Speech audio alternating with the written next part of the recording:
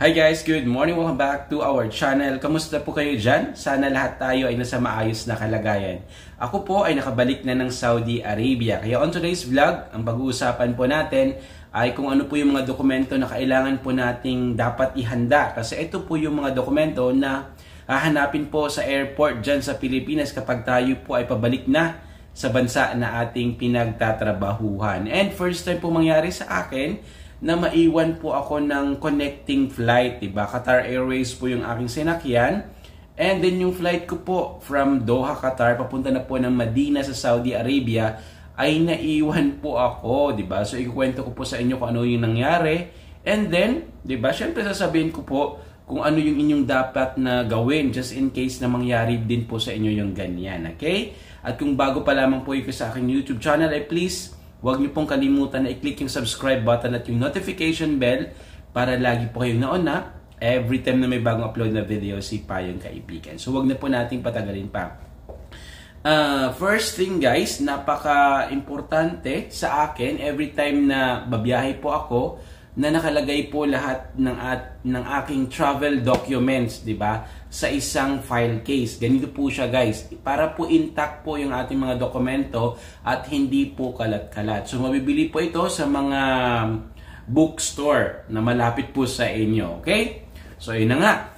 Ang una ko pong ginawa 24 hours before yung biyahe ay nag-check check-in po ako online, 'di ba? So ano po yung uh, advantage na, na, na makapag-check-in na po tayo online? Dalawa po, 'di ba? Una, pag nakapag-check-in po tayo online, ay maiiwasan po natin yung mahabang pila, 'di ba? Pagdating po sa airport. Kasi alam naman po natin na yung mga pasahero po na nakapag-check-in online, meron po silang special na designated na lane para po sa kanila, 'di ba? Pangalawa po, pag nakapag-check-in na po kayo online, makakapamili po kayo ng upuan. And in my case po, especially for long travels, yung, yung mga international flights na yan, mas pinipili ko po yung upuan, nasa aisle po siya ha, yung sa bandang daanan at hindi po yung window seat.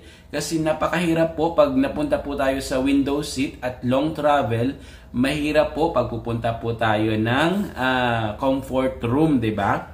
And ayun na nga, pumunta na po tayo sa airport, ba? At least 4 hours guys before our scheduled departure ay dapat nandoon na po tayo sa airport kasi like now, napakarami pong nangyayari na hindi po natin inaasahan sa airport natin sa Pilipinas. Pwede pong mag-brown out, 'di ba? Nagba-brown out and then mahaba po yung pila sa immigration. Kaya agahan nyo po yung pagpunta. First thing po na pinilahan ko ay before po kayo makapunta sa check-in counter ay dadaan po muna kayo sa mga visa checker. Okay? So dahil Qatar Airways, ang hinahanap po sa akin doon, sinanong po muna ako, saan po yung inyong final destination? So sabi ko, Saudi Arabia. So ang hinanap po sa akin ay passport, And then, yung aking exit re-entry visa, yung kopya po ng ticket at ng OAC, 'di ba? Yun po yung hinahanap sa akin doon sa visa reader pa lang or visa checker, 'di ba? Marami naman po sila doon. And then pero yung mga pupunta po ng Qatar yata, yung final destination nila ay hinahanapan po sila ng parang civil ID ganon. Anyway, So after po na makalagpas po tayo doon sa visa checker, eh syempre doon na po tayo sa check-in counter. Sa check-in counter naman, ang hinanap po sa akin ay passport ulit, yung OEC, 'di ba? At syempre napaka-importante po ng e-travel. Alam naman po natin na starting May 1 ay wala na po dapat yung mga manual forms na departure card at arrival card ang hanapin na lang po nila ay yung QR code, di ba? Na nakapag-register po tayo sa e-travel.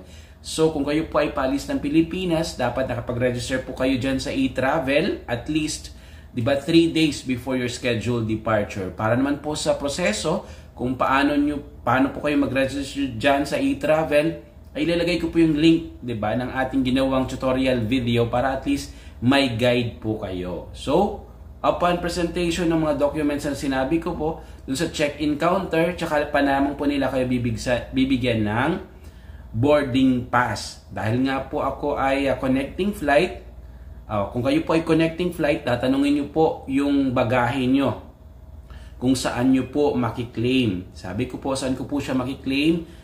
Kung sa final destination ko na ba sa Saudi Arabia or kung kukunin ko po po siya sa Qatar. So sabi po sa akin, sa check-in counter, doon nyo na po yan sir, makukuha sa Saudi Arabia. At binigyan po nila ako ng dalawang boarding pass. Siyempre, yung unang boarding pass ay yung mula po Pilipinas hanggang Doha, Qatar. And then yung second boarding pass ay mula Doha, Qatar papunta po ng Medina sa Saudi Arabia. Then after noon, pagkatapos nyo na po sa check-in counter, dediretso na po tayo sa immigration, di ba?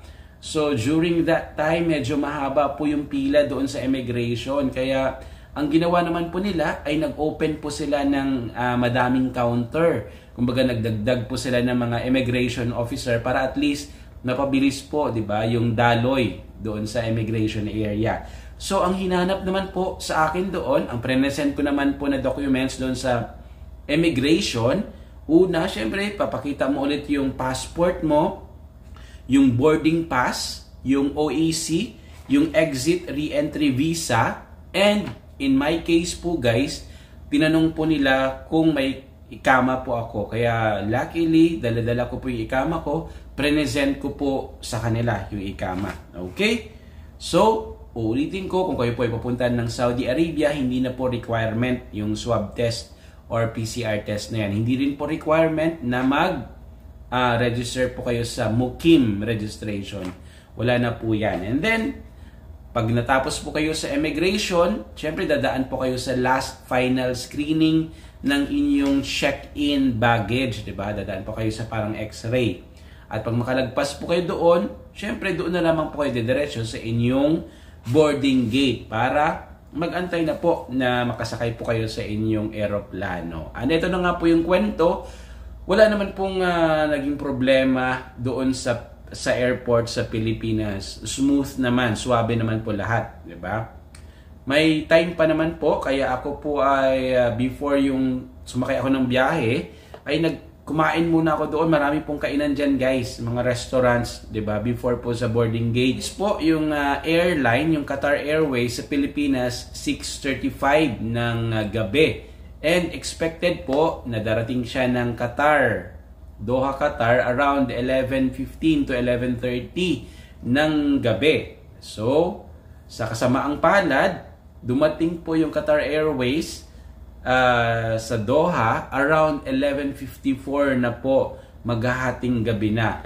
Eh yung ano ko po, uh, departure na para po sa biyahe ko ng uh, Doha, Qatar to Medina, Saudi Arabia is 12.45. Napakaiksi po yung pagitan niya And then, syempre, pagdating po ng aeroplano sa Doha, yung galing Pilipinas, napakarami po yung sakay noon.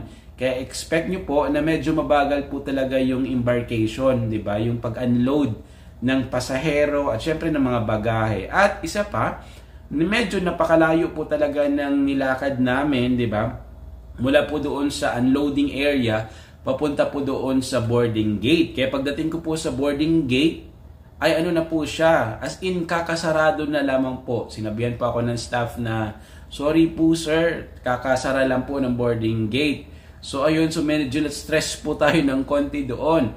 So sabi ko po, so anong mangyayari po neto? So napaka-importante po na magtanong po tayo. Dahil nga po parehas naman pong airline, yung sinakyan, mm, sinakyan ko, at syempre parang iniisip ko din naman, na hindi naman po ako yung may kasalanan noon, 'di ba? Kasi late nga dumating yung eroplano galing Pilipinas.